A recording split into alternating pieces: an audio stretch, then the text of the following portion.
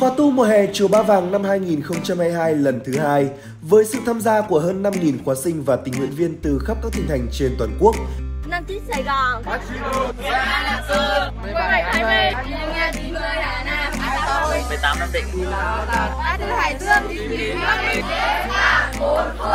Đây là khóa tu có số lượng đăng ký tham gia kỷ lục lớn nhất từ trước tới nay trong lịch sử của chùa.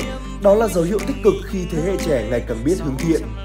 7 ngày tu học với chủ đề Kết bạn bốn phương, các bạn khóa sinh đã học được cách làm quen, kết những tình bạn đẹp, lành mạnh và đặc biệt là kết bạn với thiện pháp, với đạo đức thông qua rất nhiều hoạt động bổ ích. Cùng trải qua những ngày hè năng động với các buổi tập thể dục tràn đầy năng lượng giúp rèn luyện sức khỏe.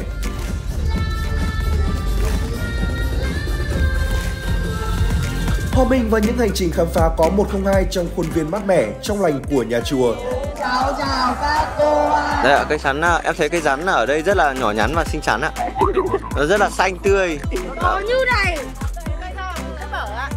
Đấy, củ rất là bở, ăn rất là ngon ạ Và trưa nay bọn em vừa được ăn củ sắn đúng không ạ? Canh khoai sọ ạ Một, hai, ba. Học cách làm quen với bạn mới, chia sẻ về bản thân cũng như khám phá tài năng của chính mình thông qua các buổi sinh hoạt nhóm.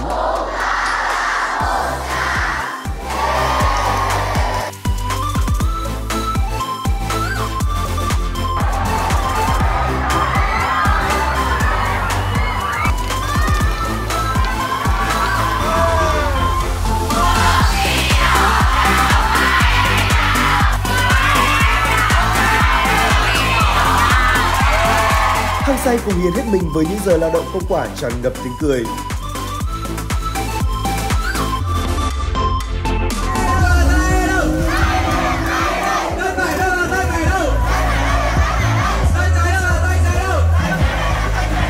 Trở về với tuổi thơ, học cách chia sẻ, biết vui vẻ cho đi trong đêm chợ quê đầy ắp các món quà tuổi thơ.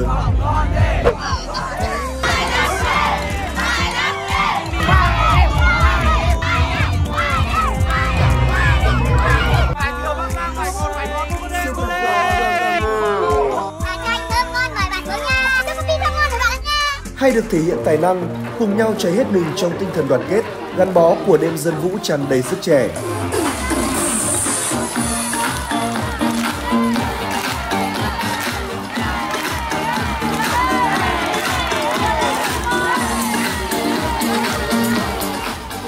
sư phụ đi xem văn nghệ cũng nhiều nhưng quả thật sư phụ không thấy văn nghệ nào vui bằng đêm thi dân vũ tại khóa tu mùa hè của chùa Ba Vàng. Bên cạnh đó, các bạn khóa sinh còn được tham gia khóa lễ phóng sinh hơn 5.000 chú chim, để từ đó tâm yêu thương, đồng cảm với muôn loài của các bạn thêm lớn. Một phần không thể không nhắc tới của khóa tu mùa hè, đó chính là những thời khóa tu tập, những giây phút mà các bạn khóa sinh được sống chậm lại và khám phá chính mình. Những lời sám nguyện trong thời khóa tụng kinh của khóa tu mùa hè như hồi chuông thức tỉnh khiến nhiều bạn khóa sinh xúc động, nghẹn ngào khi nhận ra lỗi lầm của mình. Trong thời khóa lễ Phật, cứ mỗi bước lễ xuống, các bạn lại thực hành theo lời chư Tăng hướng dẫn, khiến trong lòng không ít bạn thấy an tĩnh, thành thơi vô cùng. Những buổi ngồi thiền cũng khiến nhiều khóa sinh vô cùng hạnh phúc khi cảm nhận được vị ngọt, sự thoải mái của việc khám phá tâm mình. Đến buổi sớt bát cúng dường, tất cả khóa sinh ai cũng háo hức khi biết mình sẽ được tự tay sớt bát cho sư phụ, cho quý thầy. Hàng ngàn bạn chắp tay cung kính, đặt đồ ăn vào bình bát bằng tất cả lòng thành kính, tạo nên một khung cảnh vô cùng xúc động. Các em được giao lưu với những người nổi tiếng như Đại sứ Nguyễn Thanh Sơn, nguyên Thứ trưởng Bộ Ngoại giao với chủ đề Bí quyết thành công của nhà ngoại giao giúp các em được mở mang kiến thức về kinh nghiệm giao tiếp và đối ngoại. Bác khẳng định là các cháu đã có tâm đến đây tham dự cái khóa tu này, khóa tu mùa hè này. Dứt khoát tất cả các cháu ngồi đây sẽ đều trở thành những người tốt. Trước hết là phải nói như thế. này Đều trở thành những người tốt. Как вы узнали о пагоде Баван и с- как вы себя сначала чувствовали? Bạn ấy, bạn có hỏi bác là bác đã biết về chùa Ba Vàng như nào và bây giờ bác cảm nhận như thế nào, đúng không? Bác có nói thế này, bác có nói là tôi đến với chùa Ba Vàng rất cũng rất là ngẫu nhiên, là tôi xem rất nhiều các hoạt động của chùa Ba Vàng do thầy Thích Trúc Thái Minh à, tổ chức và tôi rất ngưỡng mộ và tôi xúc động bởi những cái hoạt động của chùa Ba Vàng. Và tôi tìm đến chùa Ba Vàng với cái niềm tin và tình yêu của tôi. Tôi hỏi lại bạn đúng không rồi bạn xác định đúng như vậy. Các em còn học được rất nhiều cách kết bạn từ buổi giao lưu với cô Phạm Thị Yến, chủ nhiệm câu lạc bộ Cúc Vàng tập Tô Lục Hòa với chủ đề Kết bạn 7749 cách đi đến trái tim tuổi học trò. tầm quan trọng của cách kết bạn đi vào trái tim của bạn có quan trọng không? Quan trọng vô cùng quan trọng. Từ bây giờ cho đến hết cuộc gì? Hết cuộc đời. Không những hết cuộc đời này mà đến nhiều cuộc đời khác chúng ta vẫn phải là hiểu mọi người đi vào trong trái tim của mọi người. Chúng ta mới phục vụ được cho mọi người. Phục vụ được cho mọi người mới là thành gì? Thành công. Và đặc biệt, chuyên sư phụ trụ trì đã dành thời gian quý báu của mình để giảng những thời pháp giúp các em khóa sinh biết làm việc tốt, loại trừ việc xấu và tăng trưởng đức hiếu với cha mẹ.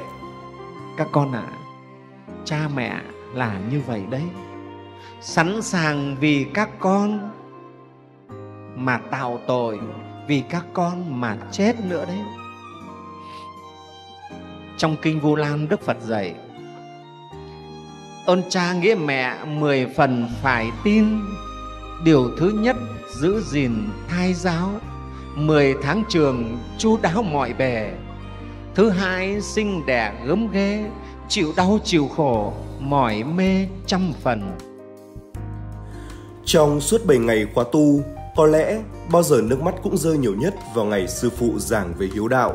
Nhờ có sư phụ, các bạn mới thấu được sự hy sinh nơi tấm lòng của cha, vị mặn trên giọt mồ hôi lam lũ của mẹ. vừa nãy khi mà con được nghe sư phụ giảng thì ờ, con đặt tay lên lồng ngực trái của mình. Con cảm nhận tim mình đang rung động. Con biết được rằng là để cho có một con khỏe mạnh như ngày hôm nay đó là công sức rất lớn của cha mẹ con. Một cái nhịp đập của bản thân con đấy là một từng đấy tình yêu thương của cha mẹ con và nó không bao giờ dừng lại cho đến khi cha mẹ con không còn nữa. Và con nghĩ rằng thậm chí cha mẹ lúc mà cha mẹ con không còn thì tình yêu thương của cha mẹ con nó sẽ mãi mãi không bao giờ biến mất ạ. Đúng rồi. Nhìn lại chặng đường 7 ngày, trong mỗi giọt nước mắt xúc động, mỗi nụ cười hạnh phúc, trong từng bữa ăn, giấc ngủ, các buổi sinh hoạt của các bạn khóa sinh hay bất kỳ giây phút nào đều thấy có sự lo lắng, quan tâm của sư phụ, chư tăng. Và bên cạnh đó, không thể không kể đến sự cống hiến, phụng sự quên mình của hàng ngàn Phật tử. Có những Phật tử đến từ các địa phương rất xa như Kiên Giang, Nghệ An đã gác lại công việc và gia đình để về chùa tham gia phục vụ khóa tu. Từ bữa cơm các em ăn, mỗi giấc ngủ của các em cho đến từng tấm áo các em mặc và rất nhiều các công việc khác phục vụ cho khóa tu đều từ bàn tay chăm sóc của các Phật tử. Bên cạnh đó là sự công hiến không quản ngại của các chủ nhiệm, tình nguyện viên luôn đồng hành, sát cánh, giúp đỡ cho các em khóa sinh như chính người thân ruột thịt của mình. Và trên tất cả, những sự hy sinh phụng sự đó đều được khởi sinh từ suối nguồn tâm từ bi của sư phụ trụ trì. Bởi sư phụ từng nói, sư phụ luôn muốn dành những điều tốt đẹp nhất cho thế hệ trẻ của các con.